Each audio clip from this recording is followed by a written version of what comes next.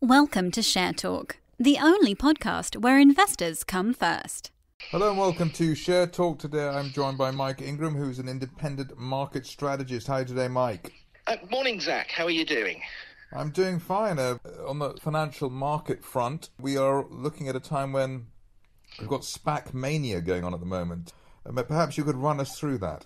Well, I think actually this is all part of a, a, broader picture of what the market thinks is going to happen next. So if you go back to March of last year, so when the sort of first COVID panic first hit, then, you know, just everything was just sold off indiscriminately. And then very, very shortly, we went on this episode where anything which had a growth label, anything that was seen as a beneficiary of the COVID pandemic, just went ballistic. And on the flip side of that, anything which was traditionally classed as a value stock, anything which was, you know, very exposed to the economic cycle was very badly hit. Now, uh, on the face of that, that's all fairly sensible. You just go, well, hang on, market conditions have changed, so the you know, share, that, that's going to impact share price performance. But the issue was to the degree to which that happened and you know you ended up with a situation where some stocks were just you know, priced for perfection or even beyond that if that makes any sense at all and other stocks which are completely toxic and this essentially un- uninvestable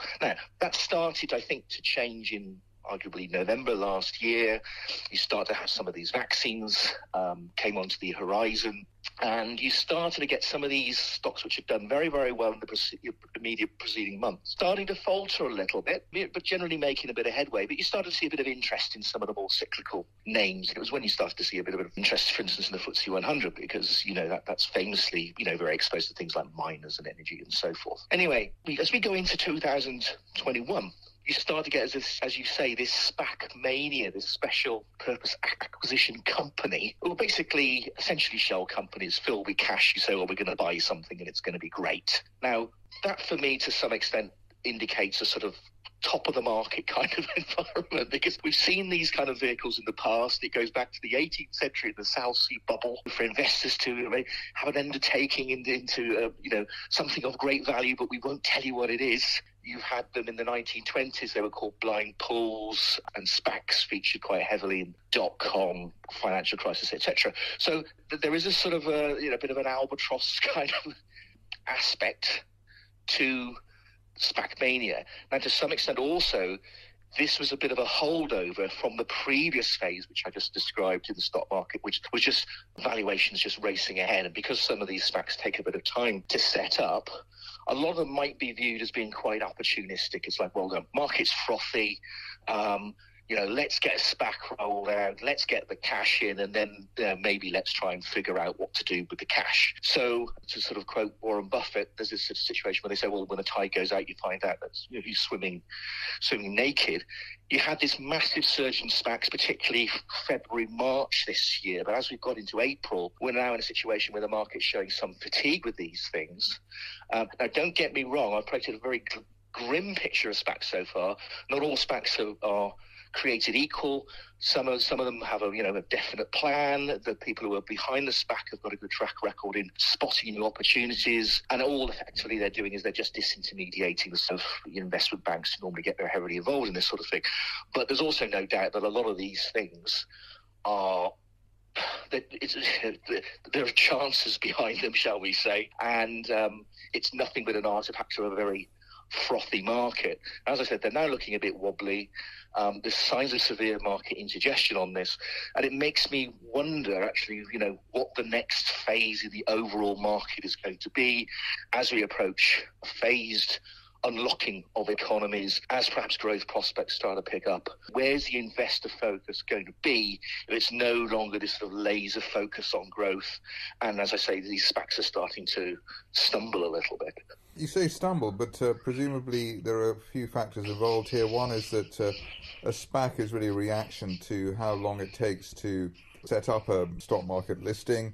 I think the quickest you can do one these days is probably about two months. So, uh, as we're in a fast moving market, whether it's NFTs one week or crypto the next week or whatever we're looking at, we've got the FTSE 100 still below where it was in 1999. So, you could say, at least on this side of the Atlantic, things are not frothy at all. Uh, mm. So, that's something to remember. And I suppose also here on this side of the pond, the SPACs are sort of normally like a few million, not 300 million or 200 million dollars, which we've seen in the US. So, isn't it? Is it something which is just a health warning, and there's no way that these can succeed, or do you think this could be? It could be different this time.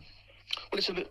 Well, I'll never say it's different this time. I mean, look, a, as I indicated, it's a mixed bag. And you, you, say that you know some of these things have gone into trouble. It's a function of a fast-moving market. I, I, wouldn't entirely agree because it depends what you mean by fast-moving market. Usually, people say fast-moving market that implies a certain amount of volatility. And generally speaking, we haven't seen that much volatility. We've had seen very occasional episodes. We saw this most recently, I guess, in the Archegos I don't know if I pronounced that correctly. Liquidation, you know, you saw some big moves on various stocks. Well, you could pronounce it long-term capital management, I think, as well, well if you wanted to. You know, you can break it down to arch egos. I was thinking, I mean, is not is there not an alarm bell there somewhere? But anyway, it's very difficult to actually describe the market that we've been in at the moment as being volatile. I mean, VIX at what 17, something like that. It's, it's you know, it's been lower, but it's been an awful lot higher as well.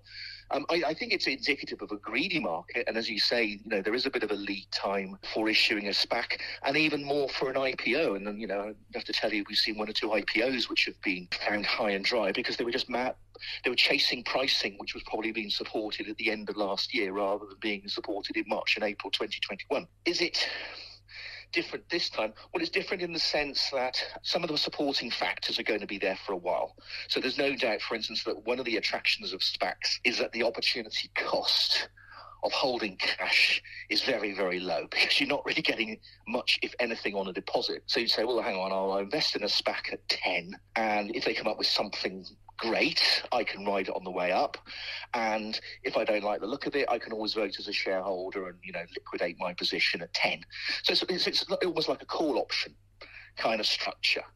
Um, and that can only really exist, as I say, in a very, very low interest rate environment. And then allied to that, obviously, you've got banks buying up effectively their own debt. I mean, you've got 90 plus percent of the gilts issued at the Bank of England to be bought by the Bank of England. Other investments are being squeezed out. Investors are being squeezed into, you know, riskier assets. And that's a deliberate policy by the Bank of England. They wouldn't necessarily frame it quite like that, but that's what they, they're trying to do. And then, of course, you've got now, most recently, in the last 12 months, a lot of the public money going in to support businesses and so on and so forth. So a lot of investors are going to think, well, you know, my downside is relatively protected. I get n- virtually nothing by letting that cash sit in the bank. I may as well have a punt. so, and sometimes it works out, and sometimes it doesn't. I mean, I think the problem is, is that, as I say, there has been this SPAC mania. I think you've got something like 440, 450 listed SPACs in the US at the moment, and half of them basically haven't done anything yet. Uh, I, I, read that of the, of the SPACs in the last two years, there's only one in four has actually made an investment. And generally speaking, after two years, you've got to hand the cash, cash back. So to some to some extent, it's a bit overblown the whole mania thing. But the other thing is you've got about another 500 SPACs waiting to list. And so you're not surprised that people who are investing in these things, particularly the institutional investors who normally step in after the SPAC is listed with so-called PIPE financing, you know, there's the private investment in public equity. They're just looking at these and just going, do you know what, we, we can afford to be a bit pickier at this stage. There's a lot of it around. We think maybe the market's turning for a lot of these would-be acquisition vehicles.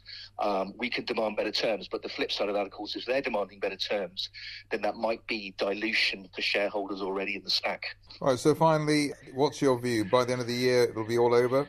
Well, I think we're likely to see a, a, change in gear. So, you know, I, I, said we've had this shifting gear from growth and momentum, probably more to something a bit more value oriented. I, I think that by the time we go, my guess would be late summer, early autumn, maybe September, October, we'll have another change in gear, and that might well be to so-called quality stock stocks, which with, with solid balance sheets, fat margins, you know, good cash flow, etc., etc. And the reason I say this is because take the UK, for instance, you're seeing a lot of the government support is going to be tapered um, into September. You know, furlough is going to roll, roll off, for instance, in September, at least on current plans. But there was a bit of research out for the Bank of International Settlements a week or so ago that pointed to this so-called bankruptcy gap, you know, relative to the shock that the economy or economies have suffered, there's a relative lack of bankruptcies. And of course, that gap at the moment is explained by the amount of largely the amount of government support. I mean, central banks only have been at zero forever, pretty much now. So that hasn't really changed substantially. But you're now seeing banks trying to claw back so-called bounce back loans in the UK. You will, say, as I say, see this tapering support. So I'm just wondering at that point, a lot of businesses which actually aren't viable at the moment get exposed.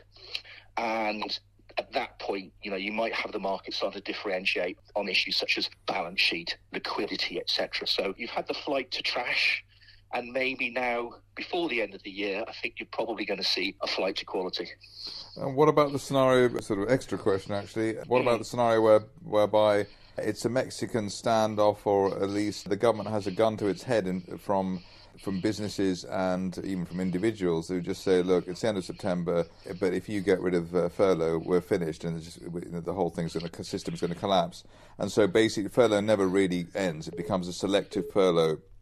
It doesn't really finish. What about that scenario? Yeah, well, I think there's some that suggested that, you know, it's furlough effectively become a permanent feature of the economic cycle it's possible, but you know, you only have to look to the last budget in the UK to you know show that the chancellor isn't totally adverse to having a pop at business yeah. when it wants to in order to you know shall we say balance the books or help balance the books. And he you know for instance he would say well you know i'm, I'm giving you every opportunity to to invest as front loaded tax breaks etc as a government no government is out to underwrite every single investment every single business risk basically underwrite the, the entire entrepreneurial, and I would I guess that's in air quotes, sector because it is private enterprise and you know if you're not prepared to do that then you shouldn't be you shouldn't be in business quite frankly. And again the broader picture and this is shades of the, of the great financial crisis it's like well hang on and we're, we're again we're in a situation where you're saying well hang on we're going to privatize gains and we're going to underwrite and socialize losses.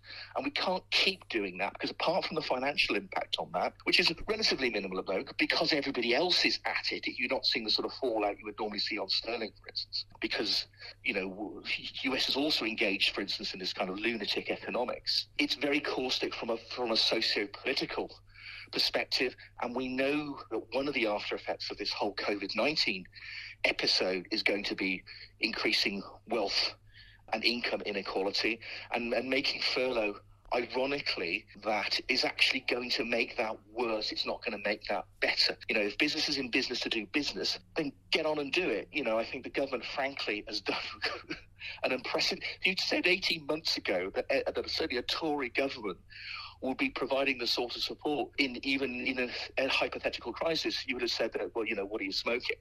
Uh, and yet it's happened. I would not be in favour of that. And in fact, I think the broader picture, as I've said on you know, previous podcasts, is that public sector, and that includes the Bank of England, needs to get the hell out of markets because it's uh, it's throwing up some very unpleasant side effects. And ultimately, that is not good for anybody. It's not even good for investors, ultimately. Well, on that note, we are enjoying being in the United Kingdom of the USSR and the sort of socialist Marxist uh, economy that we have. Mike Ingram, independent market strategist, thank you very much indeed. My pleasure, Zach. Thank you for listening. Remember to visit our website for more news and other podcasts at www.share-talk.com.